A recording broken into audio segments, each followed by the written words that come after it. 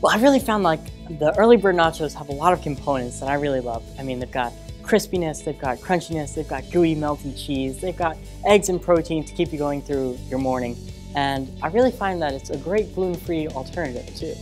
One thing that a lot of people forget is that when you're scrambling the eggs, they don't have to be perfect. They just have to be tasty and look and be like nice sizable chunks. Don't worry about making them perfect. I mean, if there's a little bit of white, it happens, it's cooking. And it's just a wonderful recipe.